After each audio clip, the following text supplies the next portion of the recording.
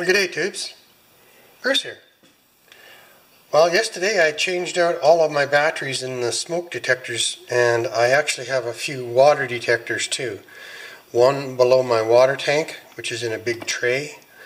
Uh, one by my furnace, which has an actual uh, condensation pump on it to the sewer, and one in my sump.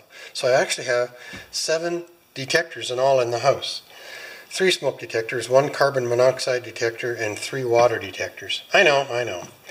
But anyway, I change the batteries in those once a year, and then I bring the batteries out to the garage and I check them to see if I can use them in non-essential, the used batteries, I'm sorry. I, I take the used batteries out to the garage to see if I can use them in non-essential things like meters and flashlights, right? You get it?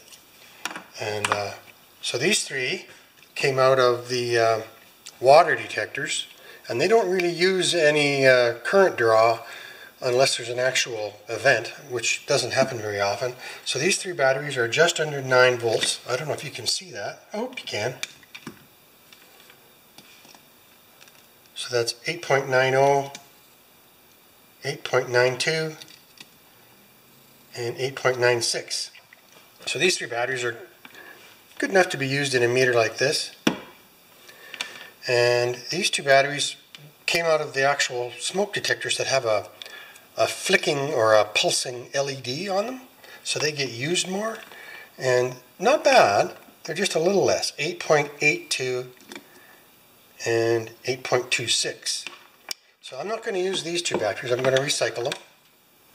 But what I like to do before I throw them into the recycle bag is I like to cover the ends in tape.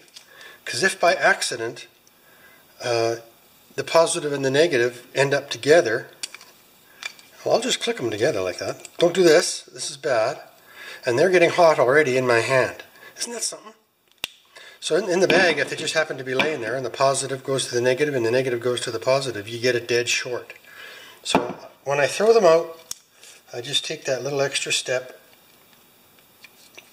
because I did see a YouTube video where there was a house fire caused by 9 volt batteries touching the terminals. it Doesn't have to be fancy, right?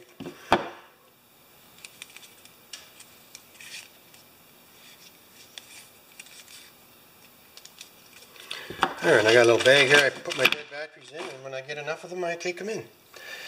So now I put one of those batteries into my meter, which I'll just close up here.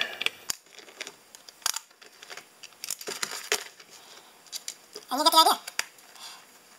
So number one, change your batteries in all your detectors once a year. Number two, if they're nine, if they're nine volt and there's a potential that the terminals could touch, just protect them from shorting out.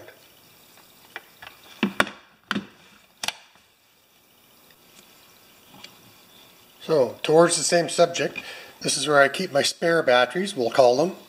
Um, these ones are uh, some of the detectors don't all have 9 volts, so uh, these ones are one and a half, uh, double A's, triple A's, and then these are the rechargeable ones that I tend to use in flashlights because if you leave them turned on you can reuse the battery.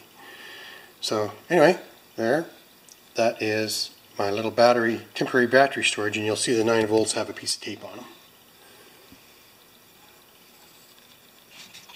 Just a little small look. Thanks, guys.